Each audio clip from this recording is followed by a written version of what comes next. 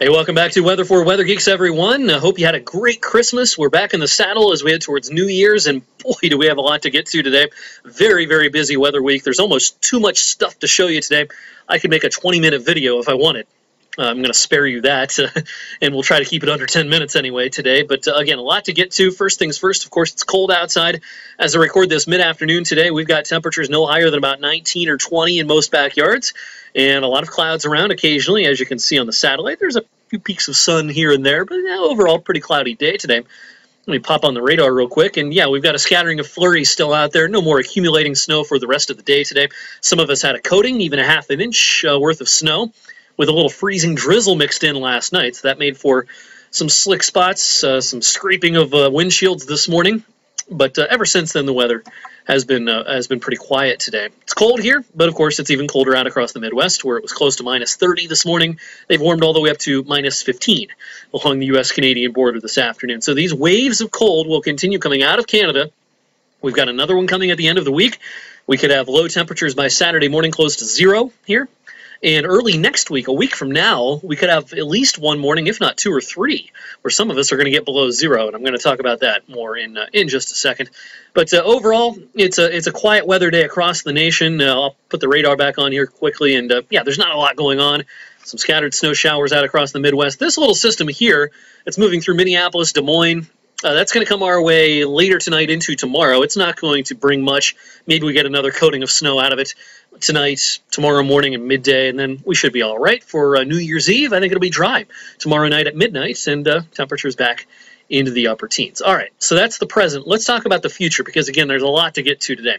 I'm going to take my head off the screen here, and I'm going to show you a few different computer models because this is important as we head towards uh, Wednesday night and Thursday. The, the computer models are not in great agreement, so this is a this is a tough forecast as we sit here Monday afternoon. All right, here's that uh, little system that comes through tonight and tomorrow morning. There's to be a little snow with that, uh, low pressure here, a little cold front like this, and we'll get to, you know, again, coating, half inch, candy coating in a lot of spots uh, tonight into Tuesday morning and midday. Maybe there's a leftover flurry Tuesday afternoon. As we ring in the new year, uh, we don't have a map for midnight, but we do have a map for 1 a.m. This is Wednesday morning, 1 a.m. Maybe there's a flurry, but most of it's most of the time just dry. Hopefully, you're huddled inside and enjoying uh, enjoying the company of friends and family as we uh, kick off the new year. New York City, Times Square, they're going to be dry and awfully cold. Uh, temperatures as the ball drops in Midtown Manhattan, probably no warmer than the lower 20s. So it's cold there too. So this uh, little system that comes through tonight, tomorrow morning brings us a coating, and then uh, during the day, New Year's Day, there could be some more flurries. Uh, I'm showing three different computer models here. They all have a similar idea for Wednesday afternoon. Some light green around northeast Ohio, western PA. Maybe there's some, you know, flurries around, some snow showers. Best chance for a little accumulation of snow during New Year's Day itself is going to be closer to Detroit, northern Indiana, kind of this zone through here. This far south and east, I wouldn't expect much more than a coating worth of snow New Year's Day. All right, then the fun begins for Wednesday night and Thursday. This is going to be an interesting uh, setup here. What we're going to have happen is is two different systems that are going to try to merge into one, and how quickly they merge into one will determine how much snow we're going to get out of this. If they don't get their act together and merge in time, we're not looking at a big accumulation. If they manage to, to you know, kind of kind of uh, join forces a little bit, uh, you know, we could get enough certainly to shovel and plow out of this. I'm showing a map here for Thursday afternoon at 1 p.m. Some light green around eastern Ohio, western PA indicating some light snow on the Canadian model. Now here's the NAM model. It has uh, kind of a similar idea. Uh, in the morning especially, we could have some accumulating snow, and then things wind down and become flurries as most of the energy goes over towards the East Coast. The GFS model, which I now have up, doesn't have much Thursday morning. The NAM has some Thursday morning, not much on the GFS. The GFS actually uh, kind of shows an idea where Thursday evening into Thursday night. Let me take off my drawing tool again and bring up that map.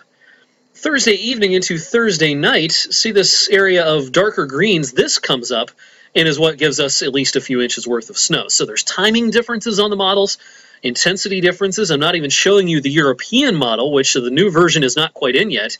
Graphically on this particular uh, website, but I will show you that the European model, snow-wise, does have a pretty healthy snowstorm for us because it does merge together those two pieces of energy in time to bring a swath of snow up Wednesday night into Thursday and uh, gives us a healthy six, even seven inches around uh, parts of the Mahoning Valley. So this is kind of the the scenario that's on the one extreme. The other extreme, the lower end, uh, you know, we might get a couple of inches, a few inches. Um, so, you know, kind of factoring in the differences of the models here, you know, we're going to probably start to advertise that uh, we could see anywhere from three to three to six inches worth of snow at some point Wednesday night through Thursday night, with a lot of details still yet to be worked out. So, take that three to six range with a bit of a grain of salt because it's not set in stone at all. There's a lot that still needs to be worked out. But that's kind of our first stab. Here's the European model, the GFS model, again, because it doesn't quite get its act together just in time, uh, has quite a bit less snow. This uh, would suggest, as we get into some of these, uh, you know, kind of light blues in northeast Ohio, western PA, it's kind of a maybe a, a two to four, two to five kind of storm, but uh, six would be hard to come by if the GFS were to have the uh, the right idea. All right, so that's the situation with the snow. Just to kind of recap, the models are not in good agreement. It's only Monday. We've got plenty of time to figure this out. But uh, if you have travel plans uh, for Wednesday night into Thursday, and some of you may be heading back to work after a long stretch of time off on Thursday, uh, we could be dealing with a moderate snowstorm on the order of a few inches, maybe up to half a foot, if everything comes together just right. All right, let's talk temperatures because this is the other big story as we get into the longer range. I mentioned that first wave of pretty harsh cold coming down. Well, the European model has low temperatures Saturday morning. Look at this. Uh, now, this is probably extreme and too cold, but I wanted to show you what's on the table on the extreme end. Uh, this advertises low temperatures Saturday morning as low as minus 9, minus 10 in parts of the Mahoning and Shenango valleys. Again, I think this is too cold, but it's something to be watched. If we get as much snow on Thursday as the European says, and we get a big, deep snowpack, then as colder air comes in and sits over that snowpack, it's going to get even colder. That's why the European probably is so cold, is because it does have a lot of snow coming our way. So this is on the extreme end of things. I think more realistically, um, we're going to see a lot of places close to zero Saturday morning. Here's the GFS low temperature map for Saturday morning, and even it has a minus two around uh, southeastern Trumbull County and a minus four over in Lawrence County. So Saturday morning, uh, I think we've got a good chance of seeing zero in a lot of places. And if the most extreme idea were to work out, you know, we might have low temperatures that are as cold as minus five, minus six, minus seven uh, Saturday morning. So that is also something to keep in mind. Uh, that that is that is going to be on the table for the start of the weekend, and then we get to early next week. All right, now we're talking next Tuesday morning, so this is a solid eight days from now. So take this with an even bigger grain of salt. But on the extreme end of things, here's the European computer model low temperature forecast for next Tuesday, the, the uh, 7th. Minus 15 is on this map for uh, the greater Youngstown area.